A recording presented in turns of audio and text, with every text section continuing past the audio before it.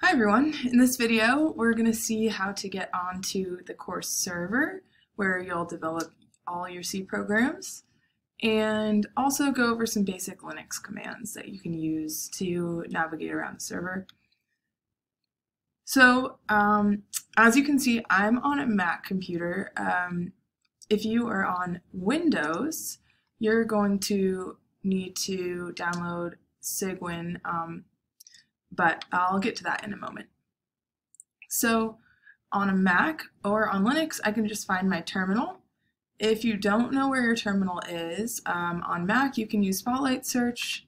I'm just clicking on the Spotlight Search button on the top right of my screen. If you don't know where that is, um, you can use the shortcut keys. Uh, so you can see at the bottom of my screen, every time I press keys, you can see those. Um, so I just press Command Space to get to Spotlight Search, and then I'm just going to type in terminal. I actually have it saved in my dock.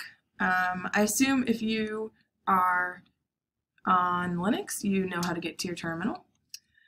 Um, so I'm going to open just a basic colored term terminal so that it looks more like what you probably see. Uh, I have some nice colors set up automatically, um, but you're going to see something more like this. And I'm just making the text size bigger um, there with Command plus, or I guess the lowercase is the equals key, and that's why you're seeing it as Command equals there. So now that I have my terminal open, I can interact with my computer um, using text commands rather than the GUI that we might be graphical user interface that we might be used to using.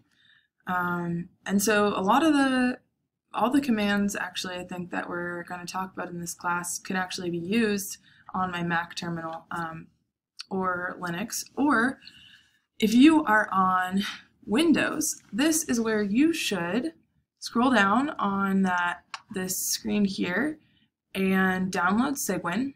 So Cygwin is just a program that's basically going to set up a Linux terminal on your Windows machine. It's going to be really convenient. Um, if you just run this here and open Cygwin on your computer, if you're on a Windows machine, then you can just follow along completely how with the rest of us as long as you are pasting this command into that Cygwin terminal rather than your um, Windows terminal. And if you have any trouble with that, let me know and we can get on a video call and make that happen. And we could also do it just in the first day of class as well. So I'm going to go back to my terminal and let's see. What I want to do to get to the terminal is use SSH. I think this is secure shell, something like that. Um, and I'm just going to copy this and I'm just going to paste it right in here. And so I'm just going to, I can't use my mouse in the terminal. So um, I'm, I need to use my uh, backward key. That's what is showing at the bottom of the screen there. I'm just going to delete and put my um, NetID in there.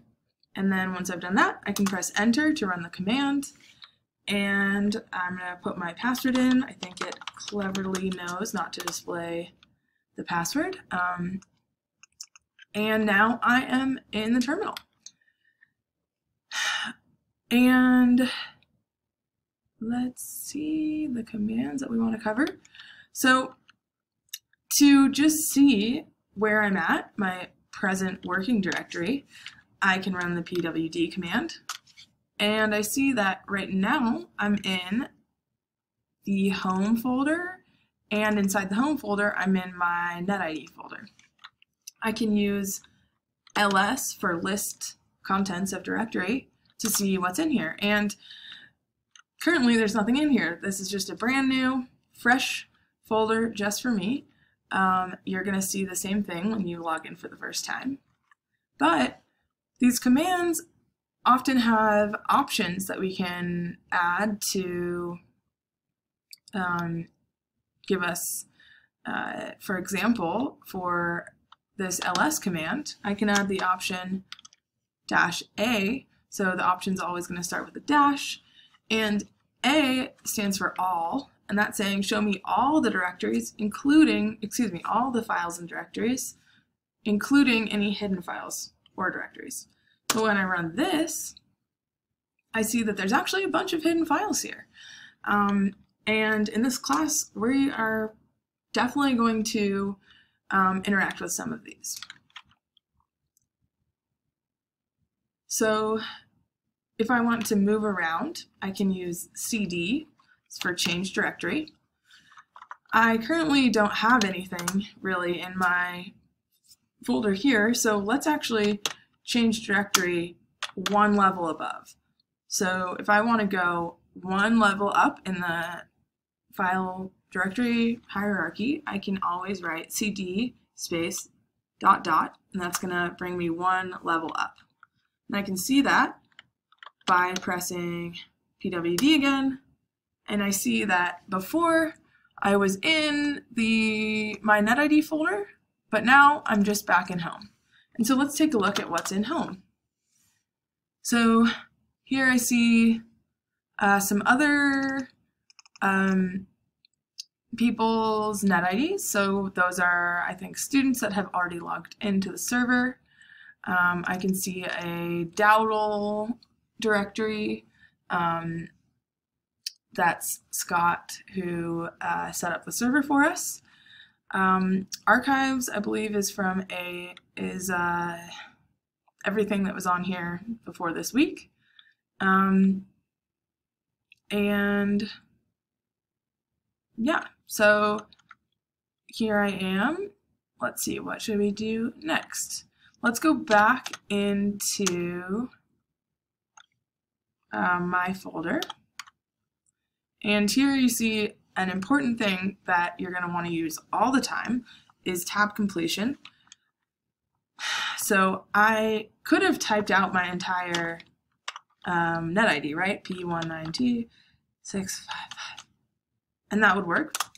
Um, but let's go back, try it again.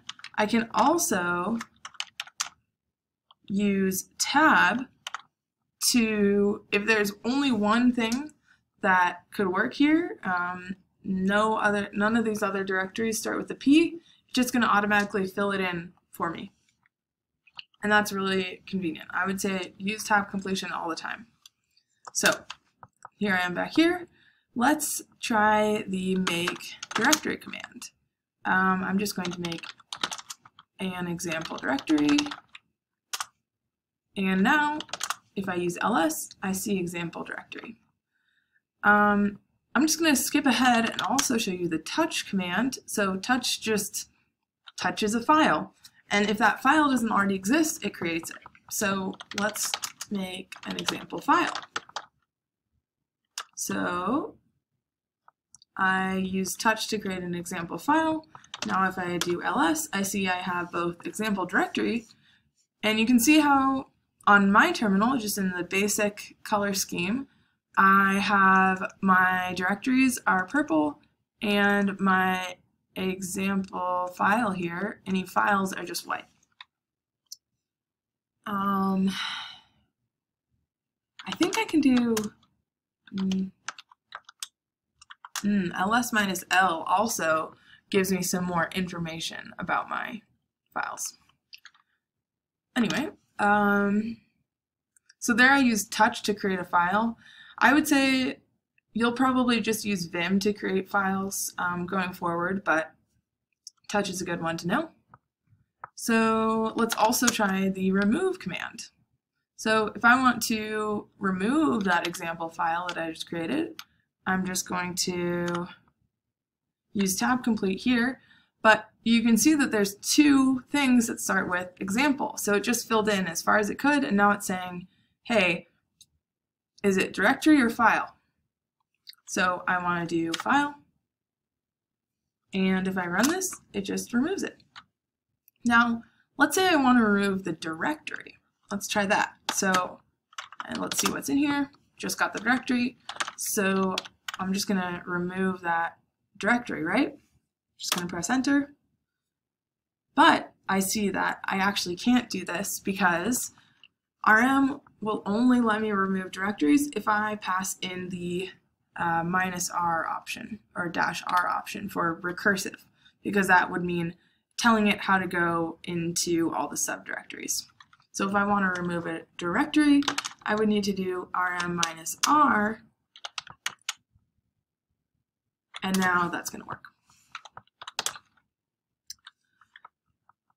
Let's see, another, well, maybe let's just try man. So man, uh, short for manual, and man will let us see uh, information about any command that we put in here.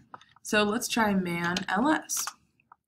So here it's telling us ls uh, is list directory contents. It's telling us we call it by calling, or we run it by saying ls. Then we put any options that we'd like, and we can also actually specify a file or directory here. Um, and we already saw the dash A option for all.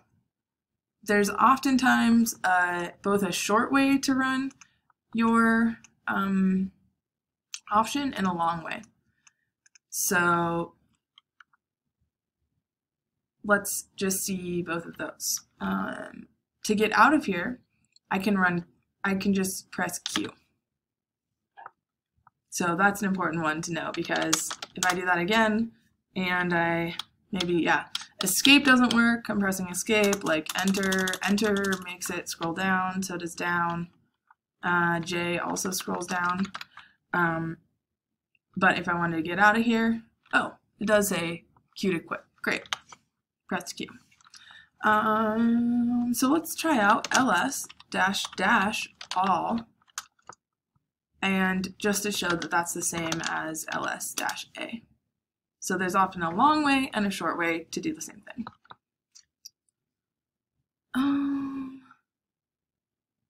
so let's say I have a file. I'm just to make one, and I want to copy it. I can do that by using the copy command, cp. I'm going to first put the file that I want to copy, and I'm going to second put the new file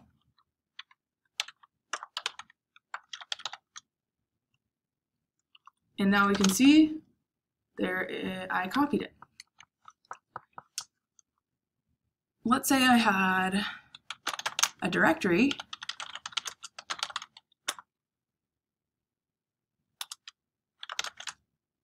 and I wanted to copy ex.txt into that directory. I can say copy ex.txt and then I'm going to put it into example underscore dir and let's say I still wanted to call it ex.txt.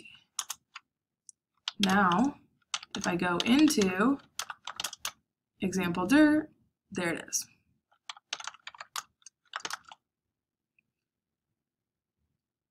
And if instead of copying, I want to just move a file, I can use mv. So say I wanted to move copy.txt into example dir, um, I can do that. Let's see, copy.txt. And now we can see copy.txt is no longer here, but it is inside example dir. Let's see what else. So we saw, oh, did we see control C? If you ever need to stop a Linux command that's running, um, like, let me just try to SSH, SSH to ABC. Well, so there I stopped it before it finished running. So if, if anything's just running, you run, you write a, one of your programs um, has an infinite loop in it or just something's taking a long time and you just want to stop it, you can always just press Control C uh, we talked about tab completion. The last thing I'll talk about is Control D. That's just a way to get out of the server. So if I press Control C, I don't quit out of the server, but I can press Control D to quit out of the server. So that is all for this video. Good luck getting onto the server and let me know if you have any questions.